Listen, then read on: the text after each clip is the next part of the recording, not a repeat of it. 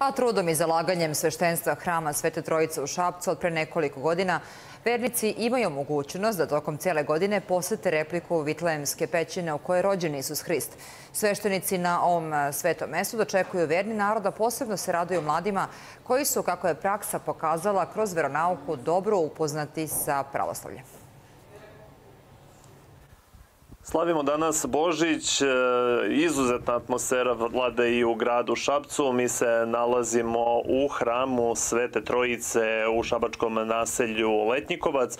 Evo nas u Vitlemskoj pećini e, koju vernici posećuju tokom čitave godine, a naročito sada kada su božićni praznici u pitanju. Đakon Mihajlo Simić, e, moj sagovornik, Hristo se rodi i hvala vam što danas govorite za našu televiziju ovako vrlo značajnom danu. Vajstinu se rodi, dobro nam došli. Eto, vi ste tu uvek kada su neki bitni momenti u samom hramu i u toku cijele godine.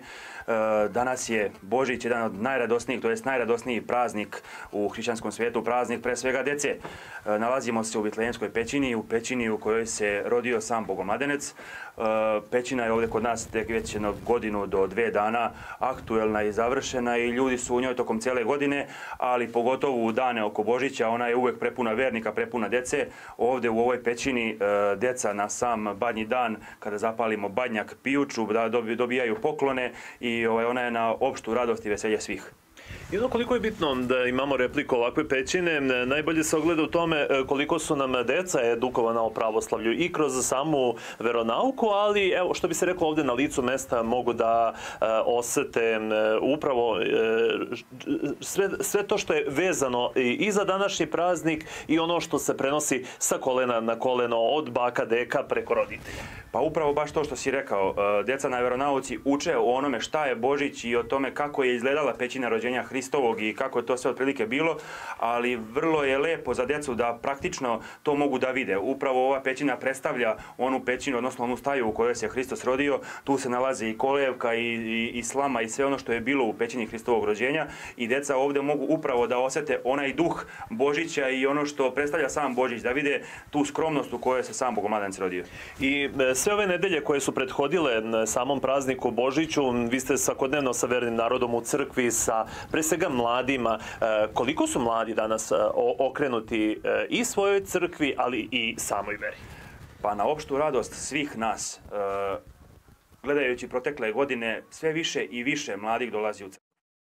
Također hoću da istaknem jeste da sve više i više mladih se uh, odlučuje na uh, veći broj dece, također sa samim tim su i sa decom u crkvi, krštavaju tu decu, dovode ih u crkvu, redovno ih pričešćuju, tako da smo sad na praznik e, detinci, materice i oci imali prepunu crkvu roditelja sa decom, uh, što je na opštu radost svih nas. Kada govorimo o, praznic, o običajima koji su vezani za Božić, upravo se to prenosi i dalje sa kolena na koleno. Bez obzira što živimo živimo u gradskoj sredini, sve ono što smo e, povukli iz naših krajeva e, odomaćilo se i zadržalo u porodicama i nije se iskorenilo. I dok je e, upravo te mladosti nema razloga za brigu da će nam običaji i tradicija iščeznuti.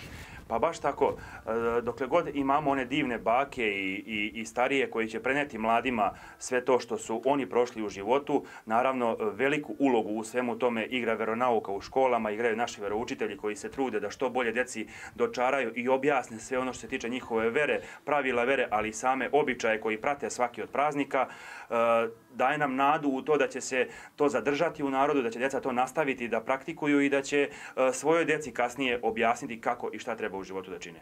E, I danas je blagosloveno posjetiti i hramove, i manastire, i sve verne objekte i e, pomoliti se Bogu, zapaliti sveću za sreću i zdravlje, to je ono što nam je najpotrebnije. Pa znate kako, e, u crkvu je, je treba svaki dan dolaziti i kad god čovjek može i kada osjeti potrebu treba da ode u crkvu.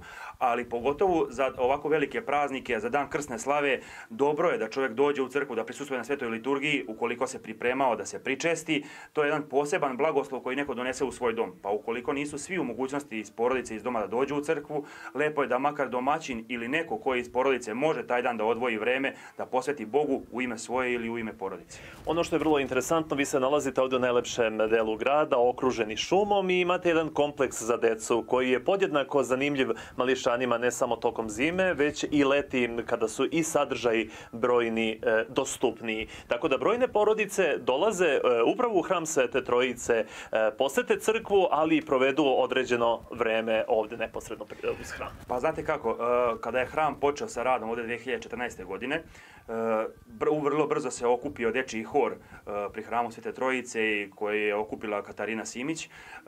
Deca su počela da se okupljaju, da dolaze. Samim tim onda su i mnogi roditelji koji inače nisu dolazili u crkvu počeli zbog svoje dece da dolaze, tu su se zadržali, vidjeli su lepotu svega ovoga. Tako da danas imamo jedno veliko dečije igralište ovde koje se naziva, postoji tabla gore između dva bora okačena, družina Anđela. Tu su deca tokom cijele godine, njihovi roditelji, pogotovo tokom leta do kasnih sati svi tu ostanu zajedno, druže se, igraju na ovom lepom igralištu, roditelji sednu, popiju neki sokić, kaficu, osveže se, tako da upravo ovo jeste onakva zajednica kakva treba da bude. Hvala vam što ste odvojili vreme i pričali za našu televiziju i evo, pozdravljamo nas iz Vitlejemske pećine, iz replike Vitlejemske pećine ovde pri hramu Svete Trojice na Letnjikovcu i kada ste na proputovanju kroz naš grad nedaleko od magistralnog puta nalazi se ovaj hram, pa poziv svim žiteljima Srbije da svrate, da vide i uživaju zaista uh, i u lepoti ovog hrama, ali i čitavog kompleksa kao i borovoj šumi koja okružuje hram Svete Trojice. Studio